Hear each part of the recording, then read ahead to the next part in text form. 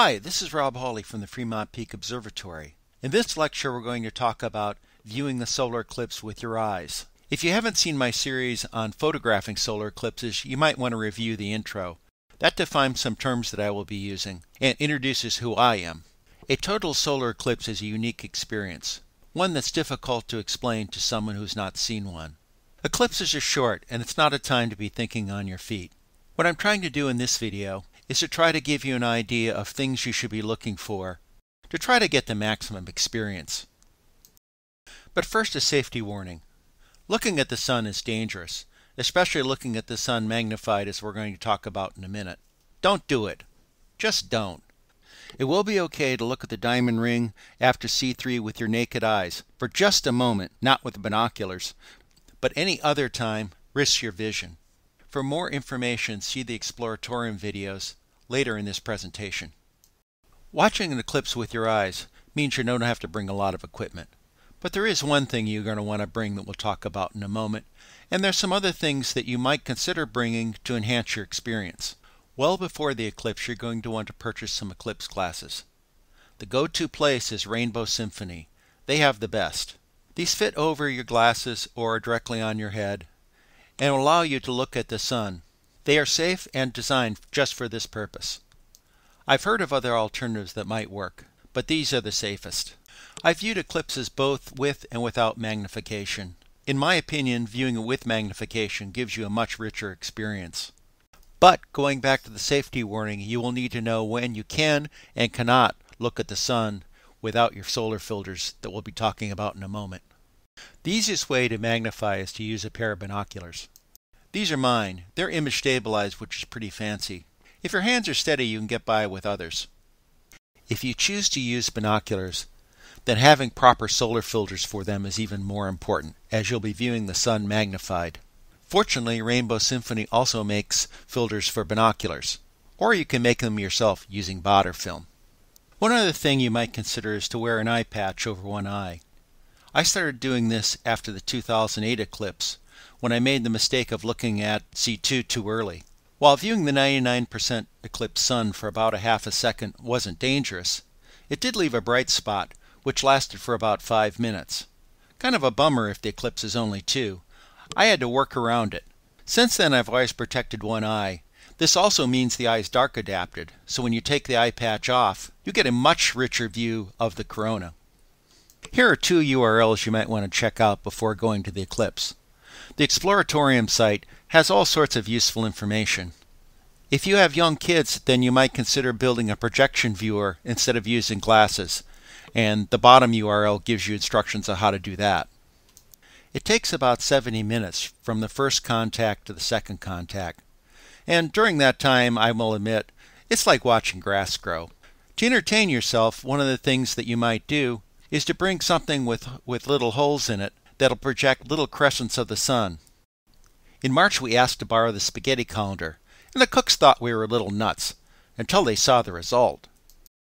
The other thing is to remind yourself that those that didn't travel to the eclipse site are only seeing what you're seeing now and not what you're about to see. So, when do the events occur? Well, the gold standard is Fred Espenak's site that I've listed here. This has the advantage that you can play around ahead of time and see where to go. But if you're away from a reliable internet connection, I provided a solution for that. And that's my iOS app, Eclipse Times Calc. It uses the same prediction algorithms as I use in Capture Eclipse that are derived from the Meeus work eh, as modified by Espenak, and it uses data from the Espenak site and the U.S. Naval Observatory to give the best predictions of when the event will occur at your particular location. The interesting visual experience begins about two minutes before the eclipse. And there's a number of things you should be looking for. First, shadows will start becoming very sharp. Next, start looking for the shadow of the moon. The shadow will be more obvious if the sun is lower in the sky. If the sun is higher in the sky, it may be difficult to see the, the shadow.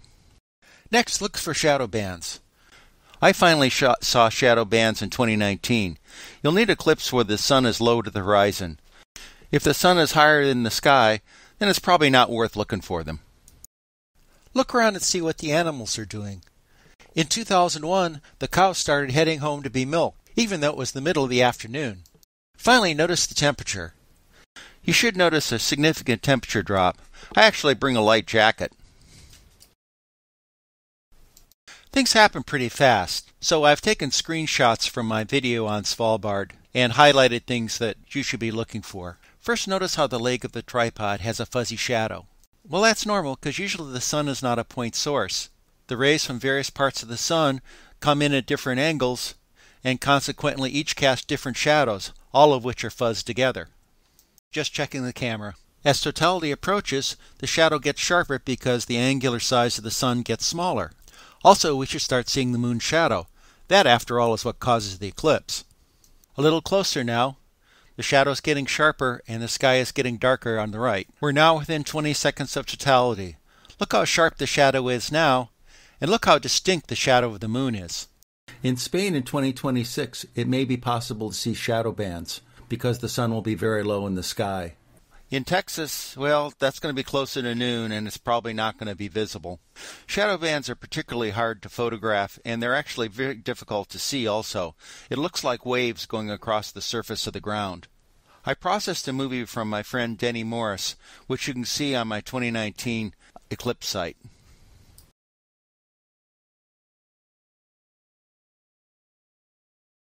The moon's shadow is now hiding the sun. Totality has begun. Notice the shadows have completely disappeared on the ground, and the moon shadow is very distinct in the sky. The eclipses in December 21 and April 23 only last for about a minute. So therefore, it's important for you to think a little bit about what you want to look at. And there's a lot to look at. I'm going to focus on two areas. First, what you can see unaided, and second, what you can see with binoculars. In Russia in 2008, I didn't bring binoculars. And so I was ended up looking at the eclipse just with my eyes and using a camera only for wide angle. Whether you use binoculars or not, it's important for you to look around. Here's some things to look at. First, notice along the horizon. You should still see a little bit of light. After all, you're in the moon's shadow, those parts of the sky aren't. Many people say to take a moment look for planets. In Russia, Mercury and Venus were visible. The corona is perhaps the most unique feature of a total solar eclipse. After all, prominences can be viewed with a hydrogen alpha scope. The corona is only visible during an eclipse. You can get a satisfying view of the corona with just your naked eye. However, I think binoculars will do better. The shape of the corona varies greatly from eclipse to eclipse. Here are some examples. My photographs from 2001 show an almost uniform corona with few bright flares, although some heavily processed pictures do show more detail. In 2015, there were a couple of bright flares. There was also a lot of visible turbulence in the corona. As I remarked on the audio track in 2016, the corona was the most unique that I've seen, with delicately curving structures and a bright flare.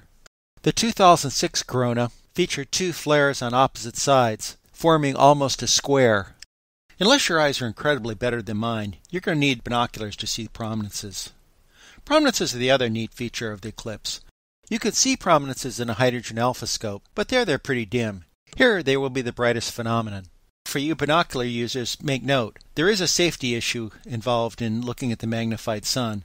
We'll talk more about that when we get to the discussion of C3.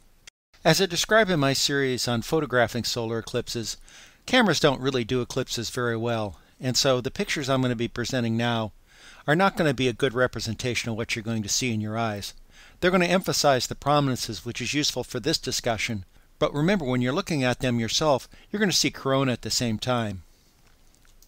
The challenge in doing justice to the prominences is to pick out all the unique features. So for this picture, it shows a disconnected prominence. A small piece of prominence is broken off and is heading out into space, as well as a couple more normal prominences.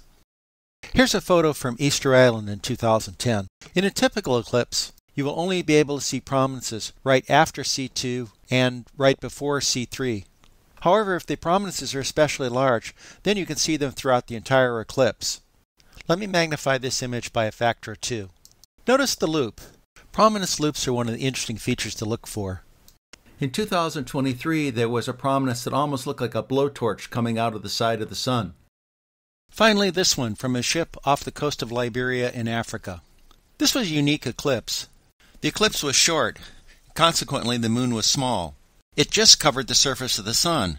As a result, prominences were visible throughout the entire eclipse. I got so wrapped up in looking at the prominences, I actually forgot to look at the corona. Finally, the last thing to look for, and you can do this with your naked eye or with binoculars. The sun is like a big bar magnet, and like any bar magnet, it has magnetic lines of force.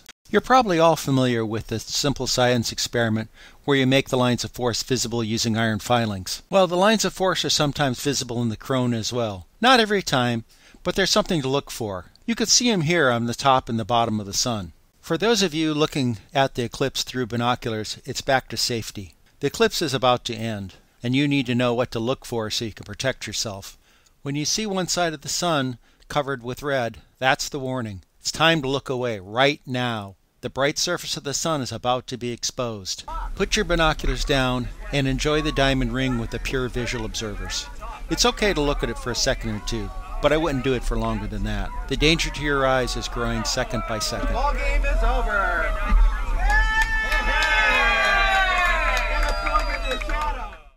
So that brings us to the end of our video on watching a solar eclipse.